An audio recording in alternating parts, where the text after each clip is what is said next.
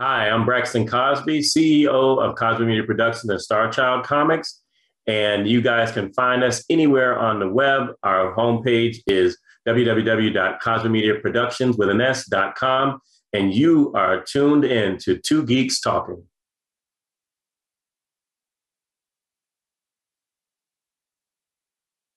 Good morning, afternoon, evening, everyone. Two Geeks Talking is an entertainment industry interview show where we interview the creative people from the comic, film, TV, movie, and video game industries. And of course, I'm your host, Kurt Sasso. We're joined today by a very talented individual with another individual coming later on in the interview itself, who has a publishing company as well as comics and novels and a bunch of awesome comic mediums that I'll let them describe because I wouldn't do it justice. We're joined today by Braxton Cosby, and later on we'll be joined today by Shontel Cosby as well. How are you doing today? Doing great, man. Um, you know, so happy to be a guest on the show, Two Geeks Talking. I'm excited to be here, and I thank you for the opportunity to speak. Oh well, hey, that's I love seeing comic publishers because that's that seems to be a new theme these days. Are, are comic publishers publishing amazing comics eh, of varying ethnicities as well as varying uh, stories and, and, themes and everything like that. And we'll definitely dive into all of that.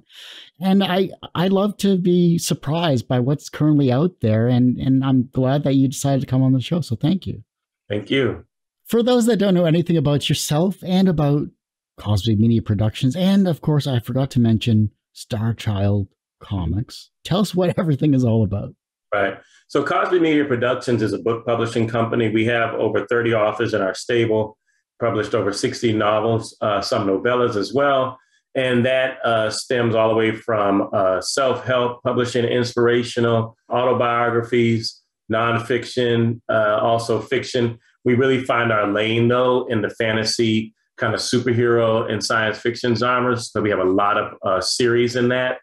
Uh, we publish books in platforms of ebook, paperback, and novels, and we've uh, just started really putting out some hardcovers as well. So we love that. This has been a venture that we've been uh, doing since 2012. Last year, uh, I'm a writer who also we publish, you know, our own stuff as well. And I've written over 16 novels, and uh, partnering with uh, four of our other authors who have this, you know, this world we've created. As you can see with Star Child Comics, all these superheroes that we have um, we decided, hey, you know what? We've got novels. We've got 16 novels across all of our office, which is about five total.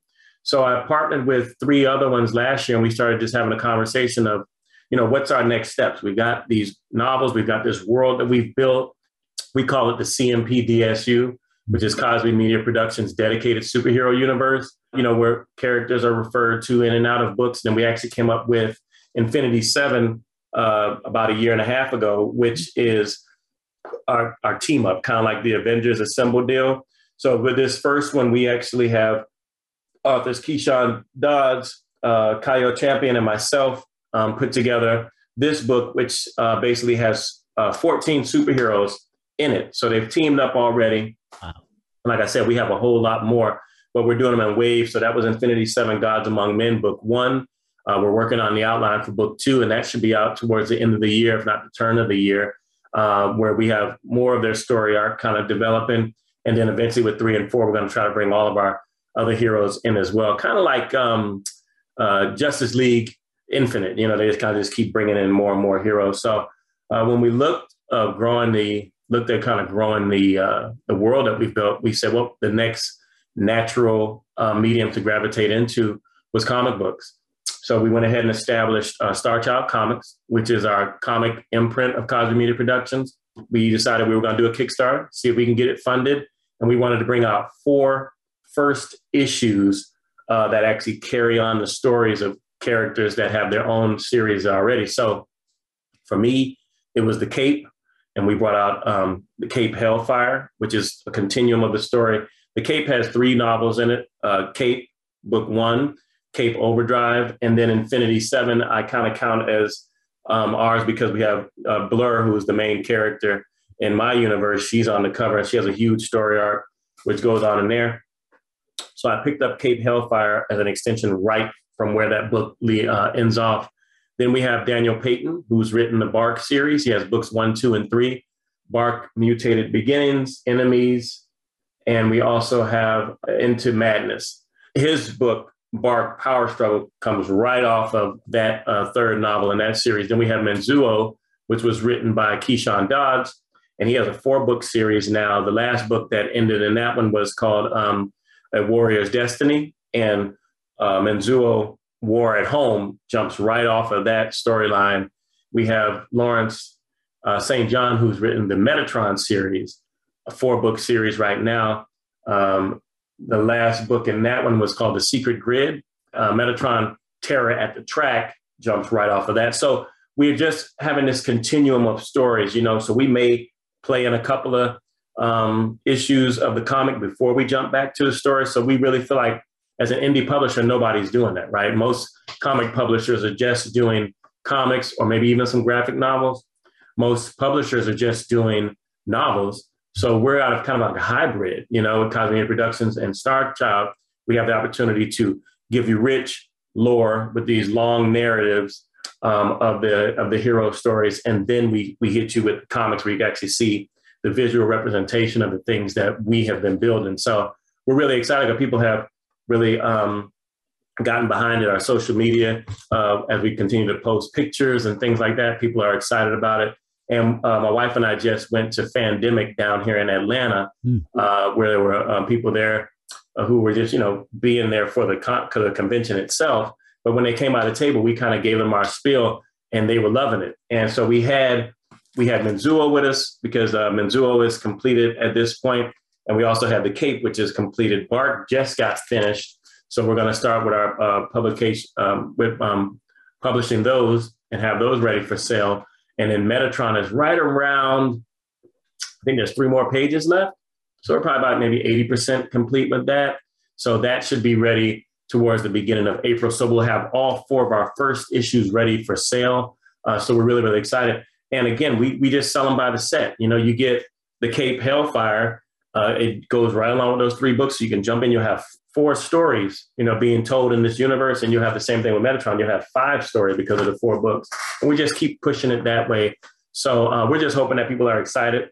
One thing we did to kind of cross promote all of the storytelling is that at the end of the comics, you'll have a QR code and a, a pic, an image of the books themselves uh, that actually told you the origin story of the book, the comic you just picked up. So you scan that QR code with your phone, it jumps you to the page where you have a synopsis of all the books, and it also has the links to where you can purchase them. You know, so we we just feel like we've given people, we've kind of handheld them through the process of coming into our world. And uh, you know, a lot of our books have been recognized. They've gotten awards. They've been Amazon bestsellers. So we feel like people are going to jump into something that's fresh. And I know you talked about it already that you want something new, you know, and we're hoping that um, what we're doing as an indie, indie, publisher is giving people opportunity to really dive into a whole new world. Because if you're kind of inundated with the Marvel and DC universe, and you know you've done all the Batman you can anymore, all the Superman you can, and you want something new, this is definitely the opportunity to jump in on board with that. It's safe to say that you are going to be busy for a long time. Um, based off of that that intro, you've created a, a universe. I'm not even going to say world. This is a universe. I mean, right. you created a universe with so many characters when this first got started because you you're talking about collaboration with a variety of different creative individuals to build a universe here. So it's not just a one person job. When it comes to the the first seed that kind of stuck in your mind that forged this universe you know what was it and why did you want to keep building upon that universe with that first seed? Right. Um, I would say that honestly, I give all the credit to Keyshawn Dodds. Before Keyshawn came on board with us as a publisher, he had already written about three novels in the in series, and he had self-published them. And um, he was introduced to me. We kind of talked about what he had going on. I was like, and that, that's when superheroes were kind of starting to get really popular again with with um, with television and film. So it was uh, it was somewhat of a risk because it's like, hey, superhero, like who's gonna read a superhero novel? Maybe not, you know, make people really into comics and movies, but let's do it because I loved what he was talking about with the storyline, where basically he uh, kind of represented him, and one of the other characters in the story named Solar represented his really really good friend when they started thinking about this idea years ago, and his friend was battling cancer, um, and then they actually made one of the enemies in the first novel uh, cancer, kind of representing that. So as they tell the story you get this real um, juxtaposition of the of him in this world of himself. So I just thought it was interesting. And his friend actually did uh, pass away uh, from cancer, but the dream still burned within him to to get this character out here, get him into novels, and eventually that was his dream is to get comics done. So when we brought him on, we kind of uh, gave Menzuo a new skin. We rebranded him, got him the logos and everything, and everything just started building, building, building, building. And it got popular. And I started going, man, you know, I kind of see something here. And then um, our other author, uh, Champion, had written Majesties of Canaan. And so we thought it would be really cool if we just start kind of referencing each the heroes in this world. So we said, let's build a universe, like you said, let's just build this thing out. And then I jumped in with uh, the Cape, and the Cape really started off almost like a. I, was almost thinking of it as like a joke, you know, like, hey, you know, I'm gonna make this crazy story with these superheroes, and these superheroes gonna have a lot of flaws, and I'm just gonna tell this story regardless of if people have a lot of flaws, like we all are anyway. But these guys are really, really broken. You gave people like this superpowers, what would they do? What would it look like? And so um, I just built out now as I was writing the story, like, actually, this is actually starting to be really, really cool. This is coming together well. So I would start taking it more seriously. And then I ended up um, getting that going. And then we just, like I said, we just cross pollinated, talking about each other, referring to other people in this world. And then Daniel Payton came on with Bark. And then Lawrence came on with Metatron. He had already written two of the Metatron series. So a lot of these authors were kind of trusting us to take their stories to the next level. So I was really, really uh, enthused with that. And before you know it, here we were sitting with 16 uh, novels, you know, and it was like, man, like this, this is really working, you know. So um, we're pleased with the stories that we've told. We feel like there's a lot more to go, and um, we're just glad that you know readers are just coming on board and, and being excited, you know, and and they're really starting to take notice of what we got going on being a publisher can't be an easy gig. What are some misconceptions about being a publisher that maybe the general public that loves your medium don't know about? People think that as soon as you put a book out, you're going to be number one bestseller on Amazon or anybody. And man, let me tell you, it takes a lot of work. They feel also that the publisher is going to do everything for them. That there's not a lot of legwork that they have to do. And the publishing industry has really changed especially for indie publishers. We have to do a lot of footwork social media wise. We have to partner with other people. You know, hey, I, you promote this, I'll promote that kind of a thing to really get our, our name out there. And we don't have these huge reading lists, access to all these readers that the, the big five do. So it takes a lot of legwork. So I tell people, you know, you got to have your social media in place. You've got to be willing to push and promote the stuff that we do because we are very generous to authors. We make, uh, we give them book trailers. We give them marketing kits. We try to give them what we feel is the industry standard of interiors for their books. When people open up the book and they read it, they go like, okay, this actually looks like the big people. Uh, and we also try to really work hard to give them uh, quality book covers. So there is a lot of responsibility on the authors to say, hey, once we give you all this, what are you going to do with it? You know, we don't want to just publish people who just want to say, yeah, I'm an author. That was great. And I've had a few of those folks come in and out, and I've gotten burned just because we put all this time and resources into getting the book out, and then you do nothing with it. So there is a misconception that you know the, the publishing company is going to do everything for me, so I don't have to do anything, and that's just false. If you really want to be successful, you really want to build a brand, and you want people to take you seriously. A lot of this is going to come from a, a lot of background and elbow grease from you. So you have to have some skin in the game, and once you do, I think there's an opportunity for you to really uh, embrace it. I love being a creative. I not only write novels, I write screenplays, and now writing the scripts for our comics because there's a, a nice a skill set to doing all three with the three act structure, act one, act two, act three across all three of those platforms because it's a challenge where you've got 22 page novel, which is what we've decided to do as a publisher. A lot of people would maybe do like 18 or 19. We want to give people a little bit more story. So uh, we've invested to give them 22 pages. That's different from the type of story that I would write in a novel, which I have a lot more uh, room to play with, you know, in a screenplay where I'm kind of jamming this in, you know, it's a minute a page when it comes down to screenplays. So if you got 90 pages, you got a 90 minute uh, screenplay. So there is quite a bit of a, of a developing of a skill. And I really have the expectation that our authors should put as much into perfecting their writing, their ability to tell a, a congruent story that people will enjoy, as much as we're going to do our part of trying to push that and get them ready to be a part of what a part of the industry it's a big sea of picky uh, fan base. They look at everything. They look at the covers. They look at the interiors. They read the story. They want to know about the protagonist. They want to know the antagonist. They want to know the story. These folks are serious, and if you take it seriously, you can really build a fan base of people are, you know, they're excited. You know, we get people coming up and they want to take pictures with us at these conventions when they buy the books. They say, "Oh, will you autograph it?" And of course, we do. And so they want to be a part of it, and they want that same kind of feeling that we're getting where we're excited that people are, are actually buying into what we're selling and we're excited that they're actually loving it and, and they're being excited and they come back every year looking for the next book. I've had a lot of lot of creative people on the show in the past year. Is, is representation in comics. And i think the one thing that i i noticed distinctly, not just with your own work, but other people's work as well. Mm-hmm. You write about your life experiences and you turn it into something uh, positive and you turn it into a creative outlet for yourself. And right. I can see, I can see that in, in what, what you put together with all of this stuff as well, too. How has that helped you as a creative person to be able to put your experiences onto a page in, in the superhero genre? Right. Well, I think uh, one of the keys to writing is to write where you're an expert at. You know, I wrote a a, a book that was published by um, Charisma House. Um, that was a um, health book that had to do with my life as a physical therapist, and I gave as much as I could to that book. I gave, I researched over 72 articles on the content I was talking about.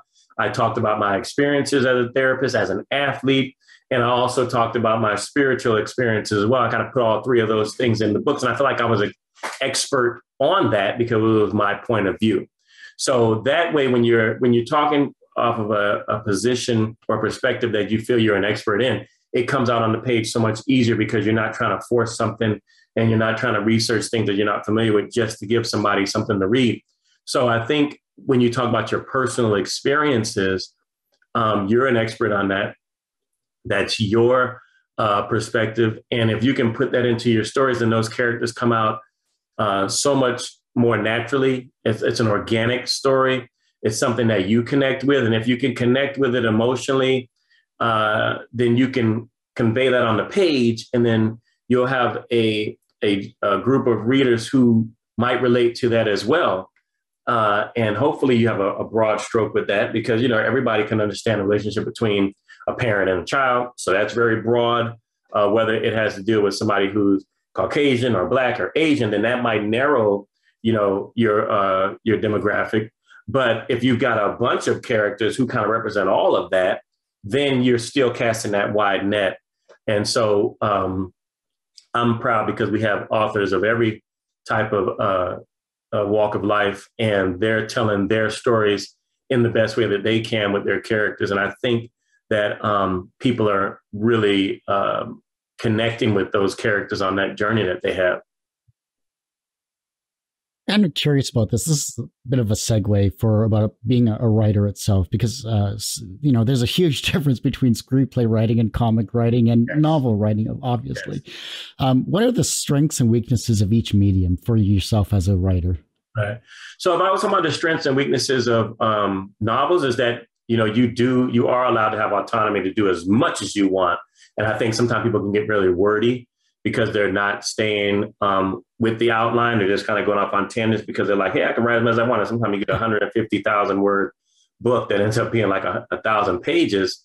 And it's taken a long time to get back to the main focus because you've kind of segued off. But again, that's also the great thing about it is that you can tell the story you want to tell as much as you want.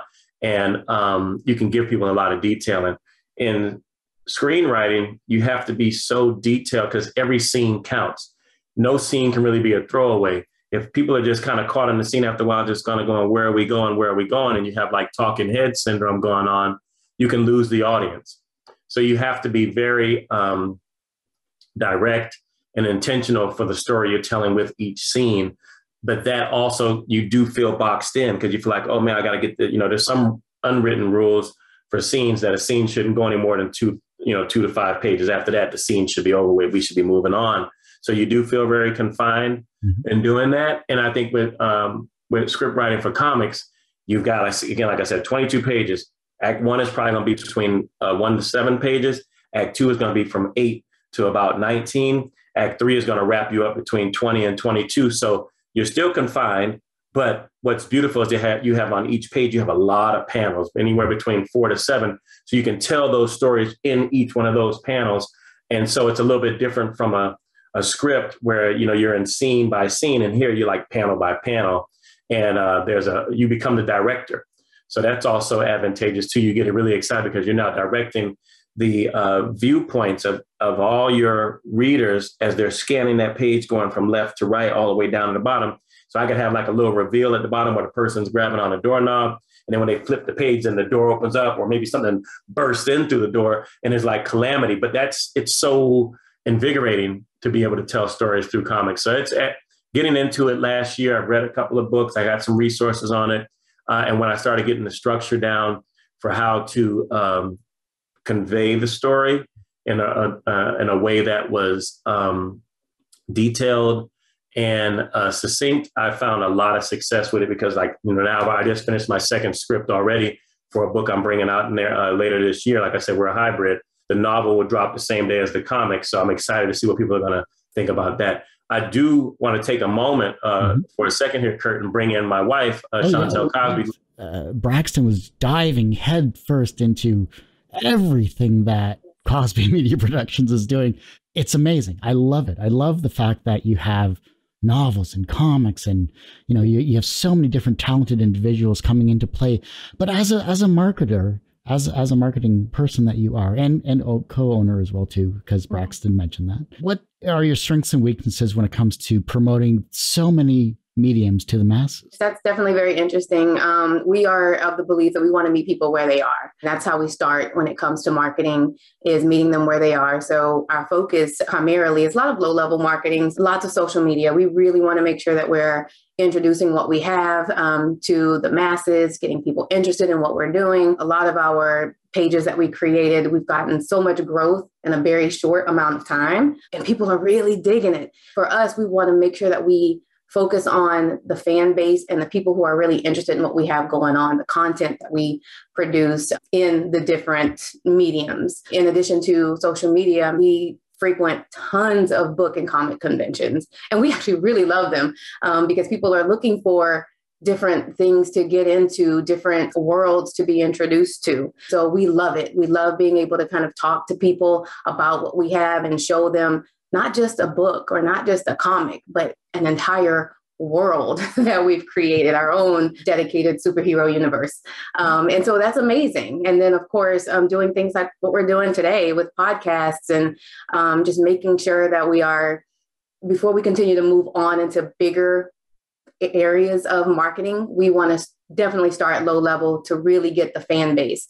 And we get our own fan base in line. Once we start doing those other marketing pieces, um, things will fall into place because one of the things that they look for is making sure that what kind of following um, do you have and are people really engaged so it's not just about getting followers like we are very active we're very engaged and people engage with us back and that is invaluable for us. Marketing is not my strong suit. I'm trying as best I can from a from a podcast show perspective for the past 14 years. Eh, you're you're one voice in 7 billion when it comes to being exactly. a, a, creative person and it's very hard to rise above the the noise so to speak here and and you you do- talked about it briefly as well too in terms of the promotion side of things what is the most misunderstood aspect about being a marketer that maybe the general public doesn't understand because I'm not familiar with marketing from your perspective. So please enlighten us. so I, I, think when it, the most misunderstood thing is that you people feel that they can get out there and people are going to love what you do because you did it and you put it out there. And that's just not the case. And that's why we want to start with low level and making sure that we get the fan base. Biggest thing about marketing is making sure that you're segmenting your audience. You can't cast a super wide net and think you're going to catch what you want to catch. Your best bet is to make sure that you are in front of the people who are interested in what you have to offer. That's the biggest thing is understanding your audience, understanding where they are, understanding what they're interested in. And once you find that, then your actual product needs to set you apart. And I think that we've done a really great job of that. I mean, I don't see too many other companies out there that builds their worlds in comic, novel, and now into screenplay format. So we're trying to make sure that we are doing something that the competition or other people are not. And so when you're doing something from a different perspective in a different way, that starts to get you the buzz. You can't stand out if you're doing the same thing that everyone else is doing. You know, I, I heard you went to a comic convention recently. I haven't been to a comic convention in two years because of a pandemic, unfortunately. we so, haven't either. We're just getting back into it. exactly. So, so seeing, you know, being face to face obviously is a better way to promote things than than social media. You know, face to face is always a great interaction. You know, seeing fa- seeing people come to your table and, and seeing your your universe that you've created here. What what has been the reaction, not only from a business perspective, but maybe from a, a personal one on one perspective? Any any stories that you can share that maybe were positive and influential? Oh yeah, oh yeah. I mean, we we get examples of that all the time. I mean, just when we are there, who we are and what we've created, you know, I think I love what we have that appeals to so many people of so many different backgrounds, so many different nationalities, male, mm. female. Our books and covers and everything reflects all of that. So I think it um, when people come by, I think that's the thing that sets us apart is they're seeing not only these beautiful characters, these well developed pieces, but when they're just glancing just visually, everybody can see a little bit of themselves represented in what we offer. People love it. I mean, just this past weekend, I don't even know if he spoke about it earlier, there was a gentleman, Braxton did a couple of panels as well, where he's talking about um, developing novels into comics. And um, so he had lots of people that came in and, and was a part of that. And so they would come to the table after. And there was this one gentleman who was just like, he couldn't even stop smiling and just so enamored with what we had. He left the table, he came back, and he's like, you know what? I just have to, you know, just tell y'all this is great. This great seeing what what he's been able to accomplish with writing, you know, over 16 books and screenplays. And he's like, and seeing you look like me, like you're my superhero. Mm-hmm. And like it was like, whoa, we wasn't expecting that, but we totally understood that people want to see themselves reflected. And if it's not just a character, even behind the scenes, the mind behind it, you know, you can you can see Marvel and DC, and we love those, you know, characters and those stories. But just seeing a whole universe created by a person of color, kids are able to walk by and say, "Whoa, this is great. I've never seen someone like you doing this, and this is amazing. And you're my superhero." And I think we were both kind of taken aback when the gentleman said that, but it made us really appreciate what we do and what we offer. And it helped us to really recognize the pull and the responsibility that comes, you know, with with what we're doing, um, and it just made it that much more worthwhile for us. What it was an early experience where you learned that language had power. I think it's it's the influence um, that we have. I do a lot of uh, speaking engagements. I even talk uh, at schools, the way you have to go about motivating young people to actually read because they want to just look at TV now, they want to look at films. I tell them, I say, you know, but the words in here because that the the conversion of reading something on paper and in your brain taking that information and having its own interpretation of what the author is trying to convey. People create their own characters because they still have a way that they think they look. So, you know, sometimes with our covers, we try to make sure that we give enough detail to kind of paint the picture for everybody, but we also want them to have that experience of their own because you know when you read something, you formulate that image in your head, and then uh, sometimes when it comes out on screen, if you get it uh, turned into a film and then they actually cast a character for a role, then you you might be either disappointed or you might be like, hey, that's spot on.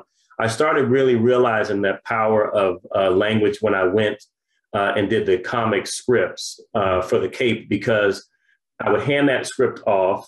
I have, you know, I have one scene or one page I've scripted out with about maybe six to seven panels. And I put all the information. Panel one's gonna be top left third of the page. This happens. This is the dialogue. This is the special effects, if any. Then I go to the next. And I'm really handing that off and trusting that the artist is going to be able to bring that to life the way that I see it. And so um, it really becomes like a child of yours. You know, it's like you're pregnant with it, and then all of a sudden it comes out, and you're like, "Ooh, what is it going to look like?" and, and it's magic though when you can have um, when that art- artist actually nails uh, what you envisioned in your head. So I just really started to appreciate um, the power of language and writing and uh, putting pen to paper, or in this case, you know, a lot of times it says really clicking on a keyboard uh, because there is a lot um, that can be done. Uh, and I think that's why books are still around now. When I when we first got into this business um, ten years ago, everybody was saying, "Oh, paperbacks are going to be gone. It's all about ebooks." So you know, just get prepared and uh, paperbacks are still around. You know, that's why we're still going to conventions. We're still selling paperbacks because people mm-hmm. still want to feel them in their hands. They want to yeah. hold them. And I even like I do now. If I really, really enjoyed a book that I read on an ebook, or even if I listened to the audiobook, if I have still a chance to grab that mm-hmm. book, I grab it and just put it on my shelf because I love the way it looks now. You know, so I think um, there's a lot of value to the uh, to the to the uh, art of writing as much as it is as even doing art itself. Wow. I would probably say that, man, I think that's probably been something that I've I've learned from from quite a while ago. Um, I've also done some film and stuff on the side um, as well. I would probably say I started doing that probably in my early 20s. Um, and so, probably around that time was when I realized um, you know, just kind of the way words are put together and scripts are put together and what you're putting out there, um, representing a person or a situation or a community, um, that it, it, means a lot with the words and the language that's that's used um, in representing those things. Um, and so then, of course, when he and I met and he um, was already very deep um, into writing. That was absolutely one of the things that we were able to connect mm-hmm. together on um, at the very beginnings mm-hmm. of our, our dating life. Uh, was that for sure? What is your creative kryptonite? sleep. I think it's sleep. You know, sometimes it's, you know, I write late at night because you, you kind of come home from work and then you do the family thing, you give time to everybody, you help out and then you've got to, I have to write late at night. So sometimes you are just tired. But one thing I've learned to do is that I don't write when I'm really not in the mood and I really don't have the availability to do so because that's when you're writing. Sometimes I'll write stuff and I come back the next day and I'm like, what was this? Was I falling asleep while I was doing it? You know, only do it, the creative process when I'm motivated. And when I'm really, really motivated, man, you can get in and knock out anywhere between two to 3,000 words in a session and you feel really, really good about uh, what you've created. So I try to do it when I really feel that fire. And when I don't, I find something else to do, you know, and, and that way uh, I feel like I'm giving my best to the work and that um, people will really enjoy it. Absolutely. And I like to help him with that. Um, you know, it's definitely a team effort. He works so hard. Of course, you know, he's probably t- mentioned that he's a physical therapist um, by trade during the day. And um, so I want to make sure that things are, I understand his his process um, once he's back into writing, whether it's another um, script or a novel. Um, and I want to make sure that, you know, as his support, that he's able to keep those creative things going. And so if there's things I can help and take off his plate, I know he's going to come in. He has certain things he's going to want to do when he gets home. And I know at a certain time of the evening, he's going to want to get into the writing. And so I just want to make sure that, you know, whatever distractions and those sorts of things that would prohibit him from being as creative as he can be, then I'm able to help support that for him as well. Is there anything that I haven't touched on? And we'll talk about social media and where we can support you and, and find your, your comics and uh, everything that you're producing uh, as well too at, at the end uh, that I haven't touched on and that, that you would like those that are watching and listening to this interview. No, at this point, I don't think so. I think we've kind of kind of uh, um, given a good uh, foundation of what we have going on as far as the company, and I kind of gave a lot of background earlier about Cosby Media and, and okay. Star Child. So, uh, my wife, uh, I just wanted to make sure she came and talked about the marketing. But if she can go, then she can leave, and then we can keep it going. awesome. Well, nice to meet you. Thanks for having me. Meet you as well. Thank you so much. So, if I could just give a quick uh, synopsis of the Cape. Uh, the Cape is uh, year 2035. Crime in Chicago is just, I mean, it's about as bad as it can be. One day this storm comes, and people who are caught in the storm, the next day they wake up with superpowers. Some use them for good, some for bad. Two factions are made basically the Capes, which are the heroes, and then there's also the dark phase, which are the bad guys. Now, in our world that we've created, we uh, like to use the word normals, which are basically regular humans without powers, and we have supernormals. So we don't really use superheroes, but we use supernormals and normals. these two factions start fighting with each other. And even people who might come out one day and go, Hey, I got superpowers, or they're doing something, whether it's crime or they're doing something for good. If you run into anybody from one of the other sides, they kind of ask you, you know, where's your alignment?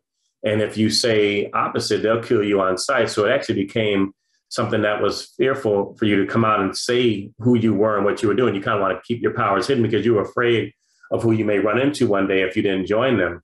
And uh, the numbers get down to about six on each side. And uh, finally, there's like a secret truce between the two uh, factions where they say, hey, you know, you guys stay on your side, we'll stay on ours, and we'll just keep it moving from there. Well, the city decides to adopt the heroes.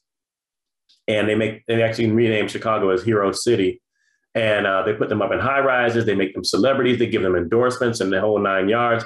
They even have a TV show where these drones follow them throughout the day and collect information on them, like you know, telling their stories. And then at the end of the night, there's a reality TV show that comes on called The Night Watch. So these guys are really, really doing well. Well, the city does uh, come up with one rule that you cannot break, and that is that you cannot he- harm a normal as a hero.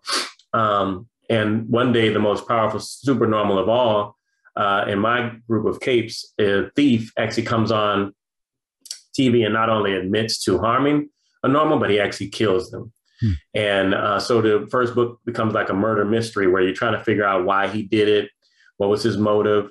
Um, and then, of course, the heroes are trying to catch him because he's messing up their gig. And then you got the enemies trying to catch him to recruit him and of course you have the authorities trying to uh, bring him to justice. So you have this uh, citywide manhunt, and um, in Hero City, there's trackers that are placed inside of the heroes, um, and the trackers do not tell your location unless you go outside of the city.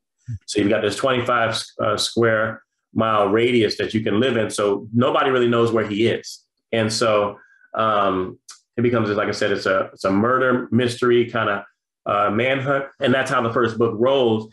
And so we reference other characters in the universe through that story, especially towards the end, where we talk about Menzuo. We have Bark and uh, his established Bark and Menzuo and uh, Metatron actually are more like coming of age stories because these are like younger characters who are really trying to find their way. They get these superpowers now. What do I do with them? I know Metatron, he got his powers from like an angel and he's trying to um, trying to figure out the evolution of them. What does he use them for? What's the uh, purpose of having this? So each book, he actually gets new powers that kind of evolve with him as he gets older. Um, and then so Menzuo is a alien from another planet who comes to Earth. He actually gets adopted by this family, kind of a surrogate family, and now he's trying to uh, figure out as he becomes stepping into his role as a universal protector. Uh, and he's got a group of uh, guys back at his home where he used to live, uh, be, and they've come now to Earth with him to kind of help him on his journey. Uh, and then, like I said, Bark is just, you know, um, he develops his powers, and there's a group called the UCH. Um, United, I think it's United Confederation of Heroes uh, that he's a part of, and he's got Snow and uh, Bolt who are in his world, and now, you know, so everybody is kind of building, building, building out these worlds that are now starting to connect. And that was our first book, like I mentioned earlier, was Infinity Seven uh, and now the comics are here and it's just continuing. So what's unique about our comics, what we do in the beginning, we have like a little uh, locator box that says, you know, um, following the events of, so that now people know, oh, this came from this book. So the Cape it was following the events of Infinity Seven. Menzuo, it was Destiny, um, a Warrior's Destiny. Metatron is a Secret Grid. And then Bark, episode three is a uh, Descent into Madness. You know, we've done that um, and that's where all these guys you see back here on the banner um, are from. You know, we've got uh, Metatron, we've got Bark, we've got the twin powers, uh, Demeros and Alucio, uh, we got Slingblade from Cape, and we've got just a whole bunch of other characters. We even have our main uh, antagonist who's going to be in the story for uh, Infinity Seven, and that's Stratus, who's a space pirate. So um, we and we're even missing like maybe eight more heroes from this banner at this point because this was really just about what we had in comic form that was coming out right now. So um, I kind of mentioned earlier. I don't know if you're into zombies, Kurt. Are you into zombies? I've seen a George Romero film once or twice in my life.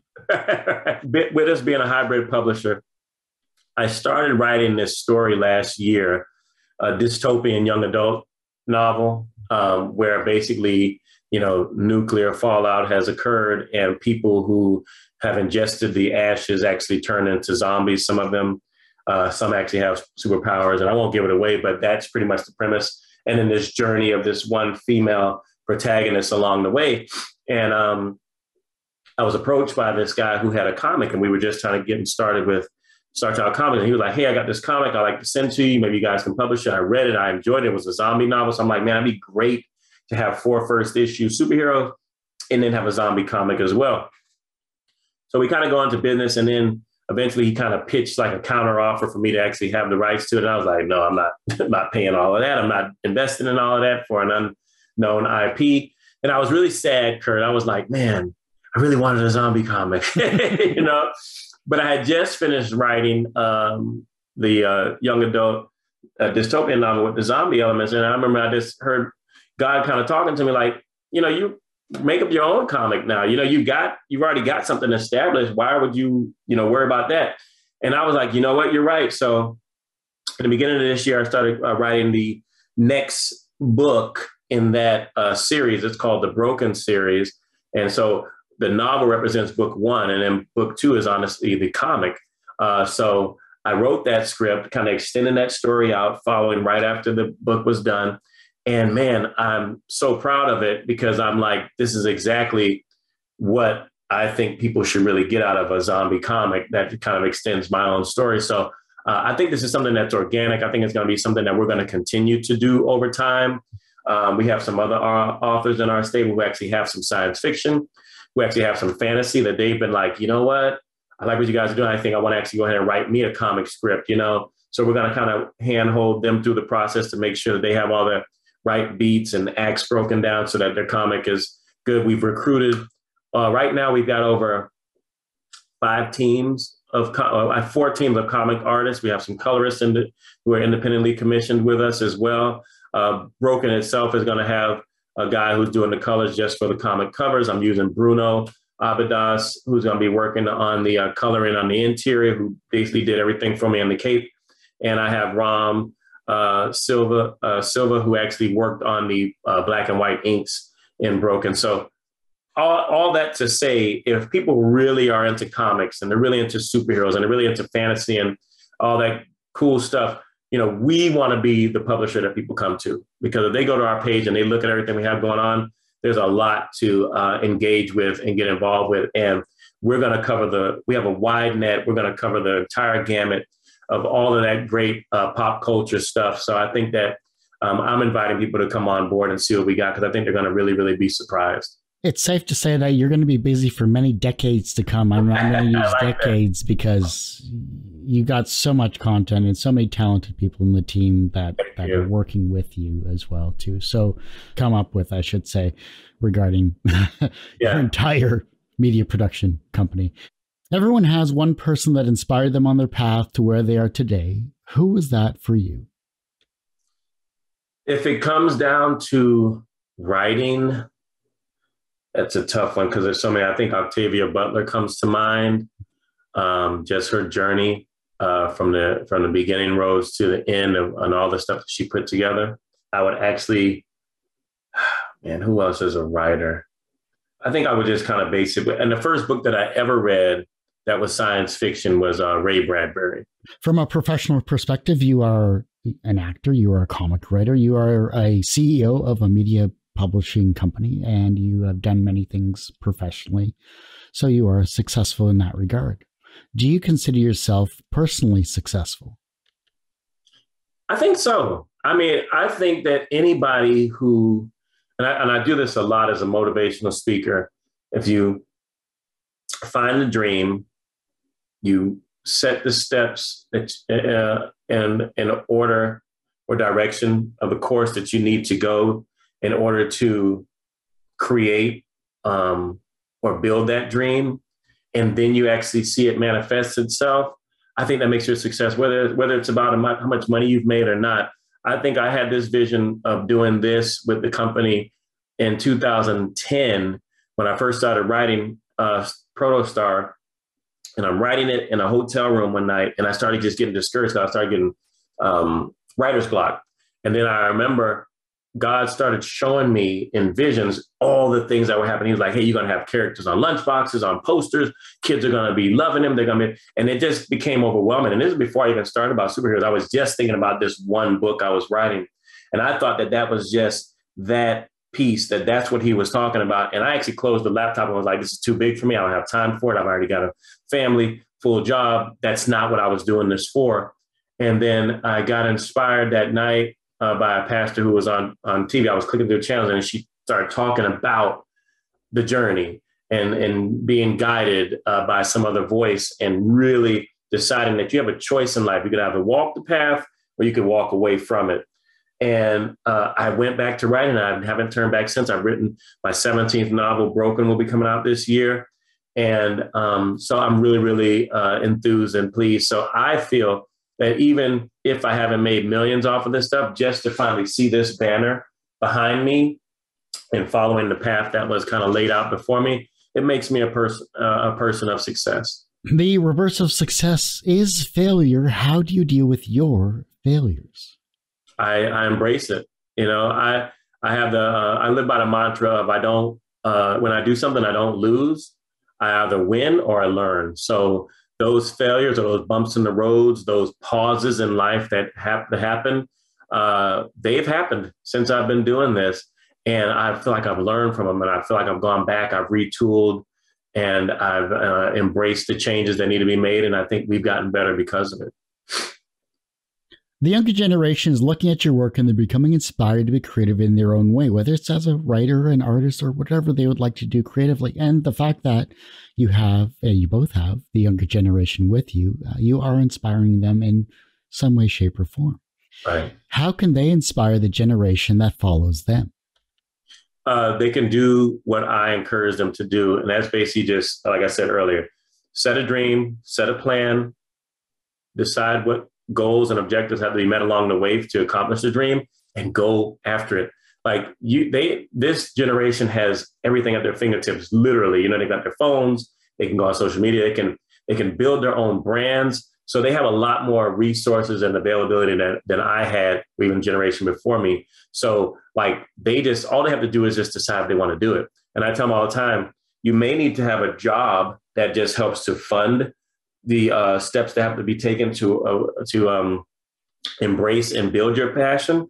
But the day that your passion actually becomes your job, you'll never uh, feel discouraged about going to work, and you'll never be discouraged about investing in yourself. So I just tell them to just keep doing that and stay motivated. Well, I do hate to say this, Braxton, and of course Shontel, who had to leave earlier. Right. Uh, but that ends this particular episode of Two Geeks Talking. I want to thank you so much both for coming on the show. Thank you for having us. Before I let you go, where can we find you? How can we support you both on the internet and um, everything like that? Right. First, they can go to the website, Cosby Media Productions with an S. You'll see everything we have going on there. If they want to look at Star Child comics specifically with the artists that we're using and the comics that are being produced, they can hover over the uh, publishing tab and then they'll click on Star Child Comics. That'll take them there. If they want to follow us on social media, We've got Cosby Media Productions um, uh, at, at Media Productions on uh, Instagram. If they want to follow us on Instagram for Star Child Comics, it's Starchild underscore comics. If they go to Twitter, it's Starchild Comics at Starchild Comics. And if it's Cosby Media Productions on Twitter, it's at Cosby Media Prod. And of course, me, it's Braxton A. Cosby on Instagram, Facebook, and Twitter. That ends this particular interview on Two Geeks Talking. You can, of course, find this interview and a thousand plus others on our website, tgtmedia.com or twogeekstalking.com. And, of course, on our YouTube channel, which is a little more updated than our website because I'm only one person, which is youtube.com forward slash tgtmedia. And as I say every week, everyone has a story to tell. It's up to me to help bring that out. Thanks for listening, watching on Two Geeks Talking.